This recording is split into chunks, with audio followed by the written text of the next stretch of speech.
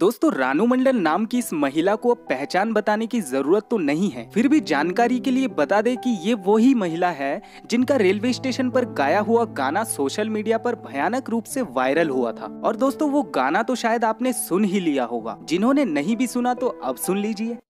प्यार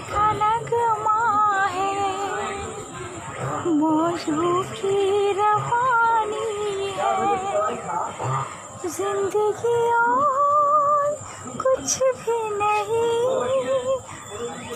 मेरी कहानी 30 जुलाई को फेसबुक पर लता मंगेशकर जी का ये गाना जब रानू मंडल जी की आवाज़ में अपलोड किया गया तो रानू मंडल जी की ज़िंदगी में कुछ ऐसा बदलाव आया, जिसके बारे में रानू मंडल जी ने कभी सोचा भी नहीं था। रानू जी का ये गाना जिस किसी ने भी सुना, वो यही सोचने लगा कि काश इन्हें हिंदी फ़िल्मों में गाने का मौका मिल जाए। सोशल मीडिया कैसे किसी इंसान की ज़िंदगी बदल देता है, इसका जीता जागता उदाहरण रानू मंडल जी है। दरअसल, रानू मंडल जी को सोशल मीडिया से मिली पहचान के बाद मुंबई के एक रियलिटी शो सारेगामा कारवा में गाने के लिए बुलाया गया।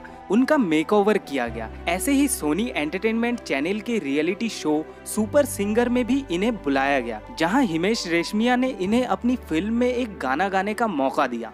मूल रूप से पश्चिम बंगाल के रानू मंडल जी की बचपन में मुंबई चले जाने के बाद बाबुल मंडल से शादी हो गई थी। मगर पति के देहांत के बाद रानू मंडल जी वापस पश्चिम बंगाल लौट आई। लौटने के बाद पैसों के लिए लगातार सड़कों पर और रेलवे स्टेशन पर गाना गाने लगी। तभी भीड़ में से एक शख्स ने इनके गाने की रिकॉर्डिंग कर ली और सोशल मीडिया पर डाल दिया। उस शख्स का नाम है अतीन्द्र चक्रवर्ती। अतीन्द्र चक्रवर्ती उस समय पश्चिम बंगाल के रानाघाट स्टेशन पर मौजूद थे, जहाँ रानू मंडल जी गाना गा रही थी। अतीन्द्र ने यह वीडियो अपने फेसबुक अकाउंट पर शेयर किया। इसके बाद जो हुआ, उससे तो आप सब वाकिफ ही हो। वीडियो के वायरल होने के बाद रानू मंडल जी को कई संगीतकार और स्टेज शो करने वालों ने संपर्क करने की कोशिश की। रानू मंडल जी जिस समय हिमेश रेशमिया के साथ गाना रिकॉर्ड कर रही थी, उस समय उनके साथ स्टूडियो में अतीन्द्र भी मौजूद थे। अतीन्द्र को खुद भी यकीन नहीं हो रहा था कि कैसे उनके एक वीडियो ने एक महिला की ज़िंदगी बदल कर रख दी। हिमेश रेशमिया के आने वाली film Happy Hardy and Heer में रानू जी ने तेरी मेरी कहानी ये गीत गाया है।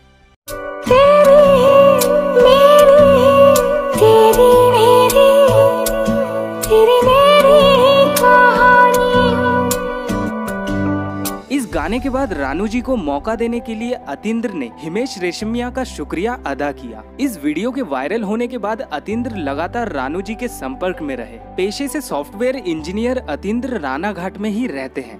एक वीडियो के कारण अब रानू जी की इस नई ज़िंदगी में खुशियाँ ही खुशियाँ हैं। इसी वीडियो ने रानू जी को अपनी 10 साल से बिछड़ी बेटी से भी मिला दिया। वीडियो देखने के बाद उनकी बेटी ने उनसे घर पर जाकर मुलाकात की। इस पर रानू जी ने कहा कि ये मेरा दूसरा जन्म है। और मैं इसे बेहतर बनाने की हर तरह से कोशिश करूँगी।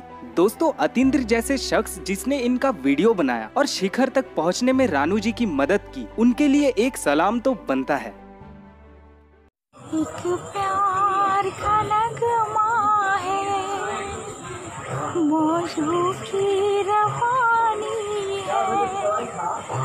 ज़िंदगी और कुछ भी